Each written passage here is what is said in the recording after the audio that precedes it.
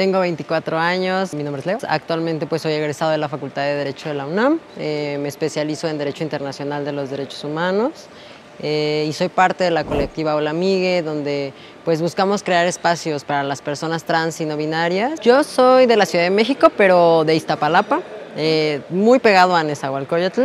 Mis papás son, son médicos, pues por la transición y así pues ya no tenemos ningún contacto.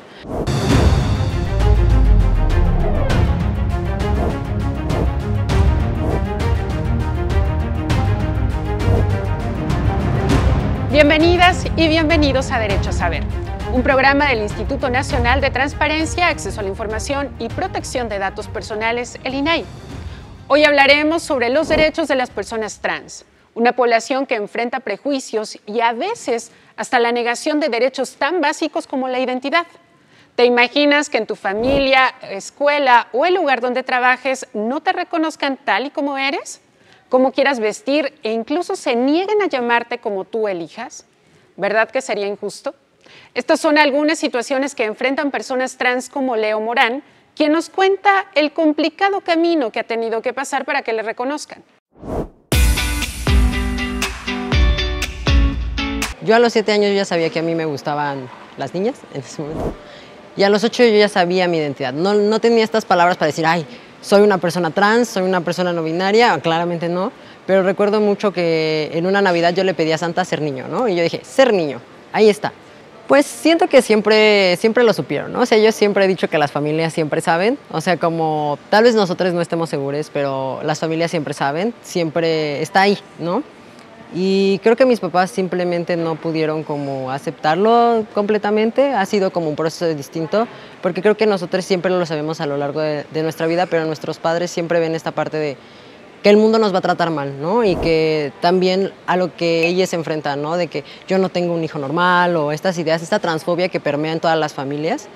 Y creo que simplemente no puedo pasar de ahí, ¿no? Y a veces como personas trans nos toca pues crear otras redes de apoyo, generar nuestra familia elegida como le hemos llamado y pues al final siempre es un proceso doloroso porque esperas que las personas que te criaron estén a tu lado, te apoyen, no solo como económicamente, sino personalmente, ¿no? O sea, como ese amor, esa confianza. Leo y muchas otras personas trans han sido rechazadas porque efectivamente existe transfobia aunque también puede ser falta de conocimiento de ciertos conceptos completamente ajenos para personas como nuestros padres o abuelos que crecieron en contextos muy distintos a los nuestros. Por eso es importante aprender sobre los aspectos básicos. Por ejemplo, saber qué es exactamente la identidad de género. El género es eh, la construcción social y colectiva de diferentes patrones de desarrollo social, de comportamiento, de identidad. La identidad es el cómo me sé, el cómo me vivo y el cómo me siento.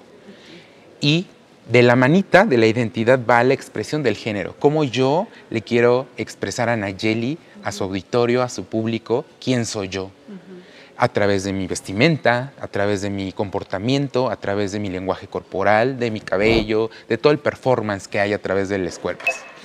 Eh, desde ahí. Y eh, bueno, eh, ya inmiscuyéndonos en el término de identidad de género, pues tenemos que, como ya te había mencionado, existe lo normativo y lo no normativo. las personas trans estamos dentro de lo no normativo. Okay. ¿Cómo explicar quiénes son o las personas trans o este término de trans? Vale, el término trans, eh, muy, muy eh, etimológicamente, eh, significa pasar de un lugar a otro. y viene desde, desde la imposición de la normatividad sexual genérica de las personas. Cuando nacemos, las médicas que nos reciben observan nuestros genitales y nos dicen va a ser niño o va a ser niña, y desde antes, desde las ecografías y los ultrasonidos y eh, papá y mamá se preparan y colores rosa, colores azules o colores neutros, ¿no? Entonces ya desde ahí hay una construcción de qué se va a hacer según los genitales. Si tienes eh, aparato reproductor masculino, eres niño. Si tienes aparato reproductor femenino, eres niña. ¿Quiénes son las personas trans? Quienes no se adecúan y no se adaptan a ese género impuesto al nacer. Cuando empiezan a crecer y a tener las habilidades de comunicación, de expresión ante su familia o ante sus entornos inmediatos, a decir, bueno, es que yo no soy Ana, ¿no? No me traten como mujer, como niña, porque no me adapto a eso, no me siento eh, como esa persona. Entonces, esas son las personas trans. Y hablando de infancias y adolescencias trans, son personas menores de 18 años que pueden expresar eh, a través del lenguaje, a través del comportamiento, y que hay una permanencia de, de ello, de quiénes son. Es un término llamado paraguas, porque incluye diferentes variantes de la identidad de género, como transgénero, cuya vivencia de género no corresponde con el sexo asignado al nacer. O transexual, quienes además de la no correspondencia, se someten a una intervención médica hormonal o quirúrgica para adecuar su apariencia física biológica a su realidad psicológica y social. También las personas no binarias, aquellas cuya identidad de género no corresponde a la estructura social de hombre y mujer. Si quieres aprender más sobre estos y otros conceptos, Puedes consultar el glosario de las diversidades sexogenéricas que hizo la UNAM en este código QR.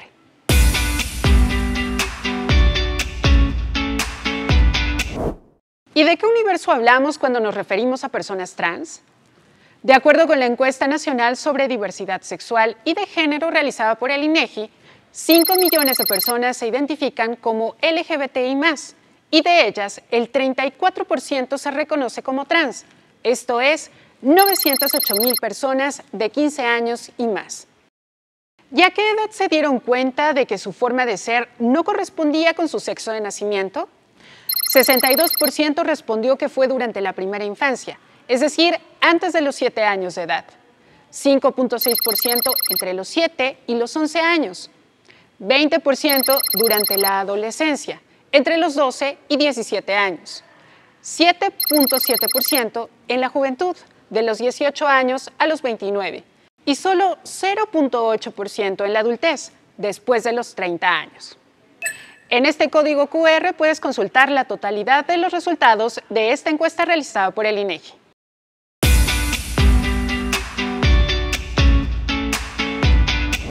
Otro punto importante es que al reconocerse como personas trans, también buscar ser reconocidas por los demás con su pronombre, él, ella, ella porque nombrar es el primer paso para reconocer, por eso importa.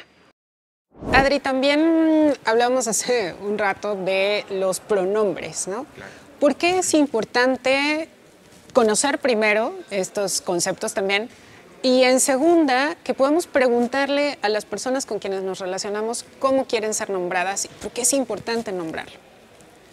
Mm, mira, me gustaría responder esto desde lo no trans, ¿no? Ejemplo, eh, hay personas que tienen dos, tres nombres y solo les acomoda o les gusta uno de ellos. cómo quieres que te nombre, ¿no? La importancia del nombre propio. Desde ahí, hasta con personas no trans, personas cis. Después, ¿por qué es importante? Porque cuando hablamos de género, yo podría tener un pantalón, yo podría tener un suéter, pero mi identidad puede ser femenina y quiero que me nombren como femenina, como mujer, ¿no? O como persona transfemenina. O al revés, si tengo una falda, si tengo eh, una blusa con, que sea adecuado socialmente como femenina o de mujer, y digo, bueno, es que yo quiero que me traten en masculino, o como hombre o como persona trans masculina. ¿Por qué es importante los pronombres? Porque yo sé cómo dirigirme a ti, ¿eh? Eh, en masculino, femenino o en neutro. ¿no? Incluso. Y eso va a determinar mi relación contigo, mi trato, el nombre que te doy, cómo te nombro. Y creo que esto va un poquito más allá, ¿no? En el trato, en la convivencia, en el ambiente. Y al final es eso, o sea, creo que el tomar en cuenta, el preguntar, acercarse y preguntar, ¿no? Oye, ¿cómo te gustaría que te nombre? O sea, ¿cuáles son tus pronombres?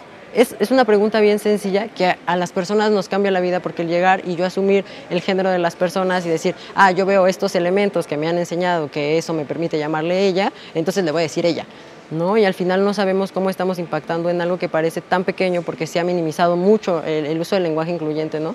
Pero yo siempre pregunto, ¿y si te cambiamos a ti el pronombre, a ti no te gustaría? Y si yo te cambio el nombre todos los días, a ti tampoco te gustaría. ¿Por qué tú sí hacerlo? ¿no? O sea, eso impacta en nuestro día a día, porque a lo mejor hay 20 mil cosas más atravesándonos, porque esa visibilidad a nosotros nos permite existir, literalmente existir, y que a mí me digas, amigue, es solo una letra que para nosotros es el mundo entero, ¿no? Entonces creo que es eso, acercarse. Pero además del trato cotidiano, el reconocimiento también debe ser legal. El acta de nacimiento, por ejemplo, es el primer documento de identidad al que cualquiera tiene derecho. Pero ¿qué pasa con las personas trans? Pues siento que fue un proceso bien complicado. Eh, tengo una, amiga que es, que es, abogada, se llama Ninde, y justo mencionaba que las personas trans siempre terminamos agotadas, ¿no? que a veces las instituciones no toman en cuenta que las personas trans estamos agotadas en, en todos los procesos burocráticos, porque yo fui al registro civil, yo no yo tenía como la idea de que toda la información estaba en línea, ¿no? Yo dije como, bueno, ahorita me meto en la página. Y no había nada, nada, nada, nada. Cómo casarse, cómo, cómo hacer ciertas cosas, sí había. Y yo decía como, bueno, pues me toca ir, ¿no?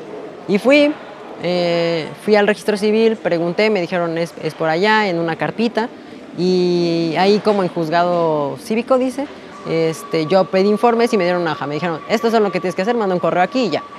Y ya. Y entonces yo me había ido a dar una vuelta gigantesca, evidentemente hasta la oficina del registro civil por banderas, con todo lo del metro que está cerrado, y yo dije, ah, pues vine por cinco minutos, va. Entonces pues ya mandé un correo, bla, bla, bla, bla, me dieron una cita, fui a mi cita y como yo no, mi credencial del INE en ese momento solo tenía la dirección de mis papás, yo no podía acceder a un, a un comprobante de domicilio con mi domicilio. Entonces solo tenía el otro comprobante de domicilio y cuando llego me dicen, te falta una carta donde la persona que, quien te renta diga que sí vives ahí, porque no coincide esto con tu domicilio. Entonces yo decía como, uff, entonces salí y claro, así yo me puse a llorar de que no, ya, ya no puedo, ya me vine a dar otra vuelta, no traje las cosas completas porque no puedo traerlas completas, ¿no? No puedo llegar y decirle a mis papás, hola, ¿me puedes dar un comprobante de domicilio? Es que me voy a cambiar el nombre con lo que tú no estás de acuerdo, ¿no? Entonces, evidentemente, pues ya lloré, me calmé, dije, lo voy a hacer. Le llamé a mi casera, que claramente también me daba miedo porque evidentemente me preguntó, ¿por qué te, ¿por qué te vas a cambiar el nombre? Y yo, porque ya no me gusta mi nombre, ¿no? Y es, ese miedo también, ¿no? De decirle a la persona que te renta, oye, es que me voy a cambiar el nombre porque soy una persona trans, le estás rentando a una persona trans, ¿no? Entonces, creo que es eso. Ya habíamos tenido problemas con vecinos de que iban amistades trans eh, y era así de que enseguida así de que no, no, no, no, no. Entonces, creo que es eso, ¿no? O sea, como que yo estaba en un, tengo mucho miedo. Pero al final lo logré y llevé como todas las cosas y me lograron como cambiar los documentos. En la Ciudad de México, antes de 2014, quienes querían cambiar el género y nombre en su acta de nacimiento debían hacer un juicio para que un médico les realizara exámenes psíquicos y físicos y determinar su identidad de género ante un juez. Pero después de una reforma al Código Civil hace apenas nueve años, esto ya no es necesario. La persona debe presentarse en la oficina central del registro civil o en cualquiera de los 49 juzgados que están descentralizados en toda la ciudad con su acta de nacimiento directa del libro, identificación oficial vigente y comprobante de la Ciudad de México no mayor a tres meses. Acuden al juzgado, eh, dicen que quieren realizar el procedimiento administrativo de cambio de identidad de género, personal adscrito al juzgado les va a revisar la documentación, una vez que verifiquen que cumplan con estos tres requisitos que acabo de mencionar, proceden a levantar el levantamiento del registro de nacimiento porque como resultado de ese procedimiento hay, hay, una nueva acta, se emite una nueva acta de nacimiento con el nombre y el género con el cual se identifica la persona. Actualmente en la Ciudad de México se pueden emitir actas con el género masculino, femenino o no binario. Y gracias a las reformas, este cambio también lo pueden hacer las infancias y no solo los mayores de edad, pero incluso también adultos mayores trans han ejercido este derecho cuyo trámite, cabe decir, es de forma gratuita. En 2021 se emitieron los lineamientos para el procedimiento administrativo de cambio de identidad de género para personas adolescentes. Esto es de 12 años en adelante. Los lineamientos se emitieron con un tema también de perspectiva de género y esto atiende a que eh, las personas adolescentes trans no siempre tienen el apoyo de papá y mamá o de papá, papá, mamá, mamá, ¿no? Por el tema de las familias diversas. Entonces, eh, solamente es necesario el acompañamiento de quien la persona adolescente considere que es oportuno que le brinde ese acompañamiento. Es decir, puede ser papá o puede ser mamá, pero no forzosamente tienen que ser los dos porque entendemos el contexto que hay en donde generalmente son los padres quienes no aceptan este tipo de vivencias de sus hijas, hijos o hijas. Sí, hay personas mayores que sí han realizado este procedimiento, no son muchas, pero sí lo hay. Y de hecho, eh, cuando se van de aquí con su acta, se van llorando y se van llenas de felicidad, porque cuando ellos descubrieron que eran una persona trans, o más bien eh, manifestaron hacia su grupo cercano, su grupo social que eran una persona trans, estos procedimientos no existían. Se topaban con muchas barreras administrativas. Cristel Arellano ya nos explicó los requisitos para modificar el acta de nacimiento para personas trans, pero aquí te lo mostramos en paso a paso. ¿Cómo realizar el cambio de identidad sexogenérica en la Ciudad de México?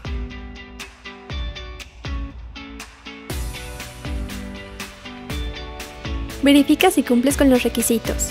Ser residente de la Ciudad de México, tener la nacionalidad mexicana y ser mayor de 18 años.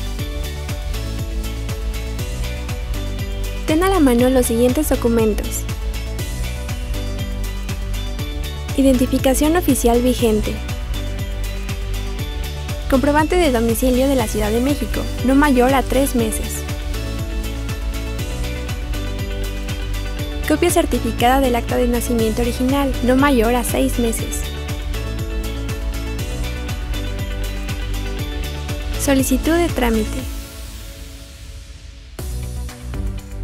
Una vez que cuentes con todos los documentos, solicita una cita al correo juzgadocentral.cdmx.gov.mx. Por ese medio se te indicará una hora y fecha para realizar el trámite en la Oficina Central de Arcos de Belén.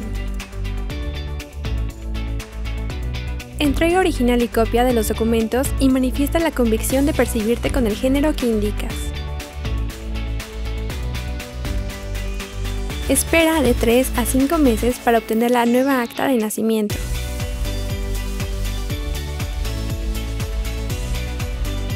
Para más información, llama al Telinai 800-835-4324.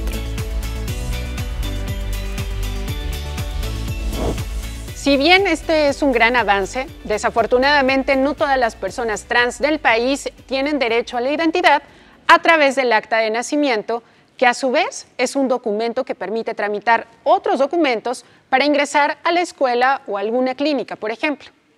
El derecho a la identidad te da el acceso a un documento de identidad, que es un acta de nacimiento, un CURP, y que esos documentos te van a dar acceso al derecho a la salud, al derecho a la educación, al derecho al trabajo, al derecho a la propiedad y sin fin de derechos humanos más básicos. Eh, las personas trans eh, lamentablemente no los tienen porque no se respetan su identidad, su nombre, eh, su género y hay veces que no se pueden corregir los documentos. En materia legislativa se ha avanzado que en México a la fecha hay 16 estados que ya tienen una ley de identidad de género donde se puede corregir los documentos de identidad con el nombre y el género elegidos. sin embargo, estos estados solo tienen de personas mayores de 18 años, que solo una persona adulta eh, responsable de la infancia o adolescencia firma. Eh, antes era de que tenía que ir papá o mamá. ¿Y qué pasa cuando no está papá o no apoya? El INAI puede ayudar a personas trans a cambiar nombre y sexo ante instituciones, como el IMSS, ISTE, etc. 1. Ingresa a la Plataforma Nacional de Transparencia. 2. Selecciona la opción de solicitud de datos personales. 3. Realiza una solicitud de corrección de datos personales. 4. Elige la institución a la que quieras solicitar el cambio. 5. Redacta tu petición. 6. Adjunta una identificación oficial. Si tienes dudas o necesitas ayuda, puedes llamar al TELINAI al 800-835-4324 o escribir a atención.inai.org.mx. A mí se me hizo sencillo pensar en el cambio de nombre porque en la secundaria tuve una amiga que se cambió el nombre y creo que se acortó el nombre, o sea, se, la, se puso como una S y a mí me pareció súper sencillo y dije, claro, esto es muy rápido, y, pero se me olvidó porque a veces olvido que el mundo no es trans, que el mundo es un mundo cisgénero, que realmente no está diseñado para nosotros. Entonces, pues si algo tan simple, o sea, como que es algo que, siempre pienso, ¿no? Si algo tan simple como tener mi nombre, que es parte de, de los atributos de ser una persona en, la parte jurídica, que es algo básico, por así decirlo, eh, ¿cómo accedo a mis demás derechos? Si es tan difícil poder cambiar mi nombre, entonces eso es lo que siempre invito a la gente a pensar, ¿no? O sea, si para, para, las personas trans es difícil eso, imagínense nuestro acceso a la salud, nuestro acceso a la vivienda, nuestro acceso a los trabajos. Muchas gracias, Leo, por compartirnos tu historia, una muestra de lo que viven miles de personas trans en este país. Pero aún hay otros puntos que abordar sobre este tema que podremos ver en nuestra próxima emisión. Ahora veamos lo que ha pasado en materia de transparencia en esta semana en Actualidad INAI.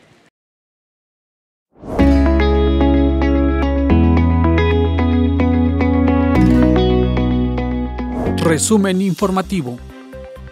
El INAI presentó la guía de apoyo para la elaboración del documento de seguridad que explica las acciones a implementarse para prevenir vulneraciones a la seguridad de datos personales en el sector público. En el evento se destacó que el INAI está de pie y sigue vigoroso con la agenda de la protección de los datos personales y de la cultura de la transparencia.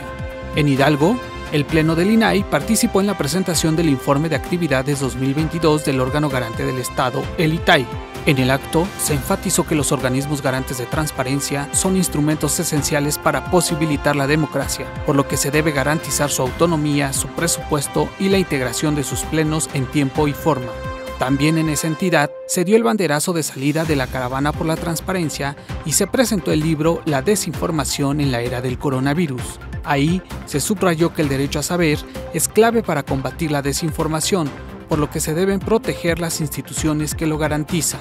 En Veracruz, el INAI, en coordinación con el órgano garante del Estado, el IBAI, presentó las guías para incluir a personas en situación de vulnerabilidad en el ejercicio de los derechos de acceso a la información y de protección de datos personales. El propósito es orientar a este grupo de la población sobre los medios con los que cuenta para hacer valer estos dos derechos fundamentales el instituto participó en la presentación de la segunda edición de la investigación Fiscalías Anticorrupción, Transparencia, Autonomía y Resultados de la Escuela de Gobierno y Transformación Pública del TEC de Monterrey. Ahí se destacó que se debe dar la batalla por la permanencia de los organismos garantes de transparencia y las instancias encargadas del combate a la corrupción en el país.